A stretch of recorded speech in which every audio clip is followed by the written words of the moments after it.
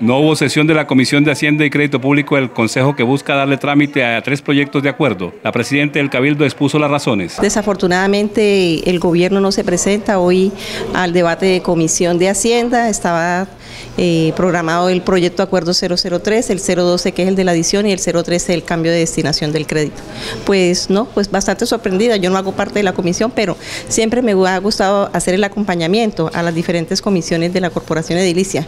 Y sí soy bastante sorprendida porque hoy que fue la instalación, eh, la alcaldesa pues se le nota la preocupación que tiene con estos dos proyectos de acuerdo en específico que son el 012 y el 015, pero la verdad no, no, no, no, no, no tengo explicación alguna para la no asistencia del gobierno el día de hoy. Lo propio hizo el concejal Leonardo González. Para la sorpresa de hoy, en que la Comisión de Hacienda, cuando llegamos a la Comisión de Hacienda, estaban algunos del gobierno y de un momento a otro se retiraron todos los del gobierno, incluyendo la Cámara que había del gobierno, se retiró y no se le pudo dar debate a los proyectos de acuerdo que tanto ella exigía, la alcaldesa, de que se le diera celeridad, dejando a los amigos de la tercera edad que quería conocer del proyecto y que querían mirar qué era lo que estaba pasando con este proyecto.